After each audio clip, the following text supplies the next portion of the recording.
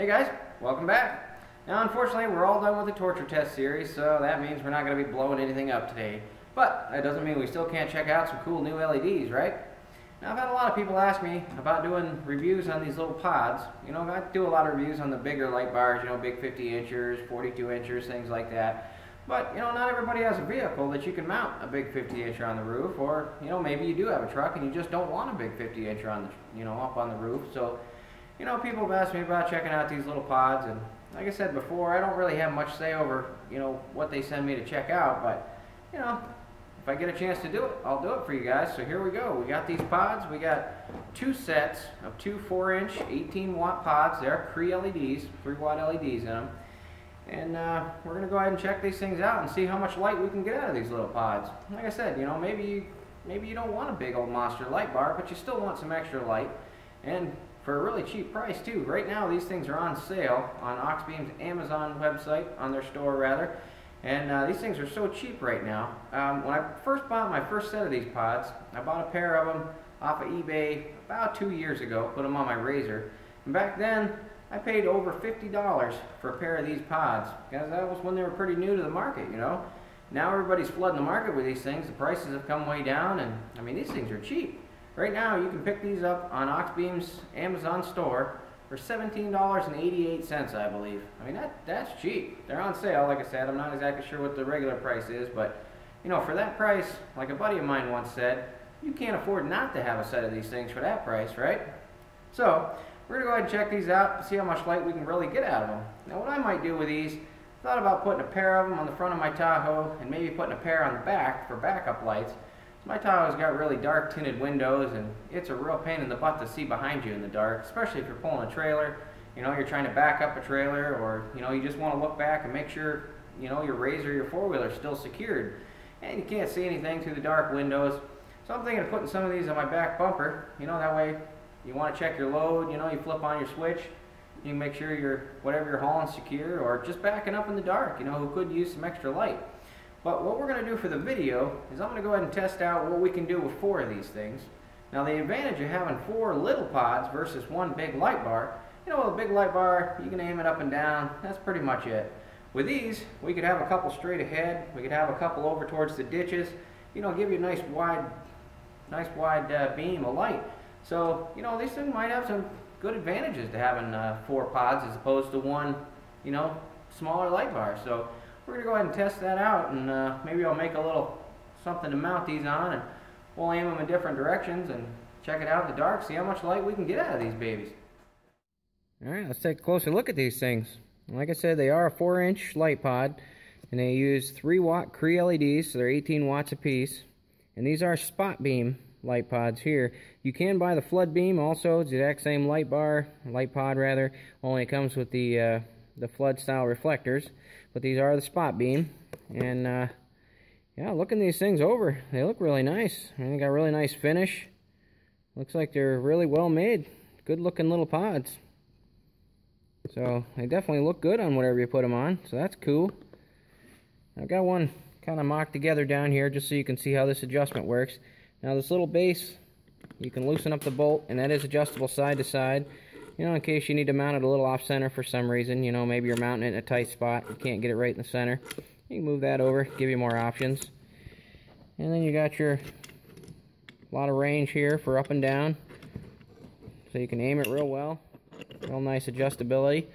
So, pretty good looking pods. We just got to uh, go ahead and get them mounted up on something and see how much light we can get out of these little guys after dark.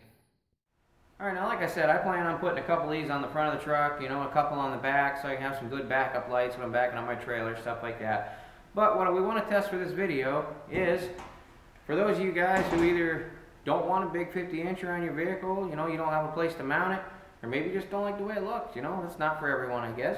And maybe you just want, you know, some extra light without the big bar. So we're going to test, if you have four of these things, you know, adjusted different angles, how much of a light spread we can get and how much light you can really get out of just four of these little pods. So I made this little uh, little test rack here and we can mount on the front of something and test it out. And this way we can adjust them all separately. You know, we can have these kind of point straight ahead down the road. You know, take these two, have them kind of angled over towards your ditches, you know, for deer, animals, things like that. and uh, we can adjust them all independently, get a nice spread of light, and uh, go take it for a ride on something see how bright they are. So, know, like I said, it's just a you know, little test rack. Doesn't look pretty, but it'll get the job done. All right, I got my little test rack strapped on the front of the old Razor here. Now, I went ahead and uh, decided to go pretty much straight with all four of these pods just because, you know, the width of this thing, I decided it might be a little too much to have the outsides pointing out towards the ditches. So I got them all pretty much pointing straight, and I kind of wish I had them more evenly spaced, but that's where the holes already were in this angle iron, so I decided to go ahead and leave it there, but we'll go ahead and give it a try, see what it looks like going down the road. Now you might have noticed how ridiculous this looks on the front of my Razor. And I picked the width of this piece of angle iron, you know, based on the average, you know, truck width or car width, something like that, you know, how wide your truck might be. So, you know, of course it looks ridiculous on the Razor because I just wanted to see what it would look like if you were to space it, you know, across the front of a truck. So, we're going to go ahead and try that out, you know, and uh, we don't care what it looks like. We're, you know, it's going to look cool in the dark. So, we're going to go ahead and try it out once it gets dark here. All right, let's check these pods out, see how they look. There's the four 4-inch pods. And just for comparison, I'll flip on my 12-inch light bar I got on the front of the Razor. There's the 12-inch light bar. And I'll try and switch them real fast so you can see the difference. I'm going to switch to the 4-inch pods. There's 12-inch. There's the 4-inch pods. I'd say the uh, those 4-inch pods actually look a little better than the 12-incher. So we'll go ahead and take it down the road and see what it looks like.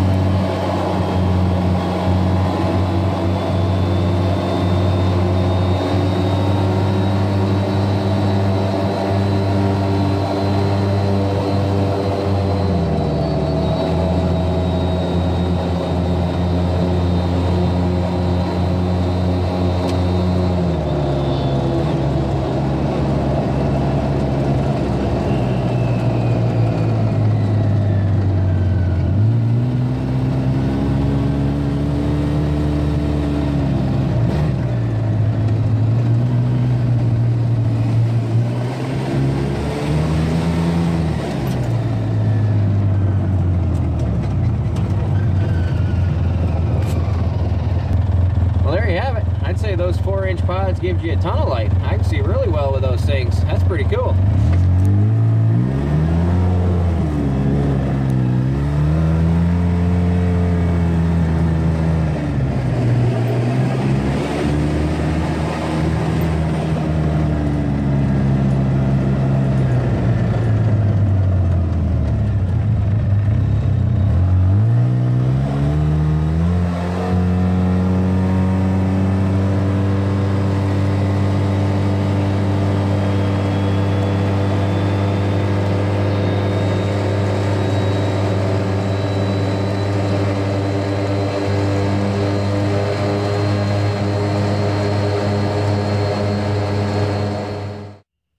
there you go, guys. We wanted to find out how much light we could get out of those little pods.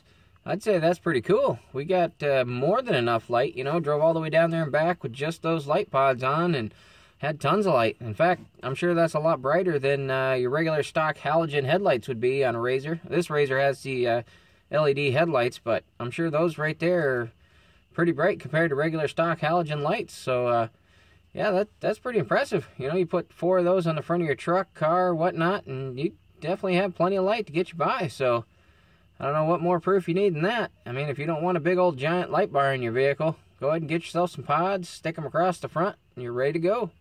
And uh, as always, I'll put a link to uh, where you can check these out on Amazon in the description below. Thanks for watching, guys. See you next time.